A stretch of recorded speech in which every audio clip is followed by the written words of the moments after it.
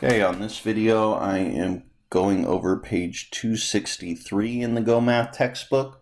Follow along and note these problems that I'm going to do in this video are going to be very similar to the problems you're going to see on your homework assignment P111.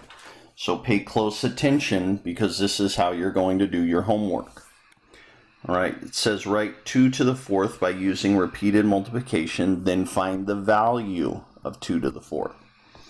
So 2 to the fourth means 2 is repeated. How many times is 2 repeated? 4. So we have 2 times 2 times 2 times 2. So we have 2 repeated 4 times. 2 times 2 is 4. 4 times 2 is 8. And 8 times 2 is 16. So that's our value. Now the next set of instructions, it says use one or more exponents to write the expression.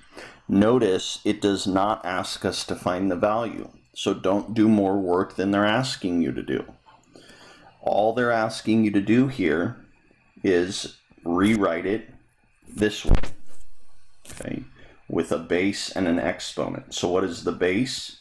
Well, the base is the number that's repeated. So in this case, the base is 7.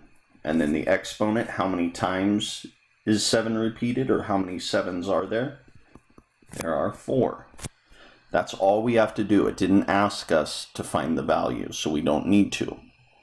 On this problem, it said find the value, but now they're not asking for that. Okay, here's our next one. The number that's repeated is 5, so that's our base. How many times is 5 repeated? One, two, three, four, five times. So 5 is our exponent. And that's it. Okay, number 4 3 is repeated twice, 4 is repeated twice. So 3 is one base, and it's repeated twice. And then times, we have to keep this times sign. 4 is repeated, and 4 is also repeated twice. So this time we have 3 to the second power, or 3 squared, times 4 squared. And that's it. It doesn't ask us to find the value, so we don't need to. All right, again, if you have any questions, please raise your hand now. Let's get, let's get all of this clear right out of the gate so we're ready for our chapter 7 test at the end.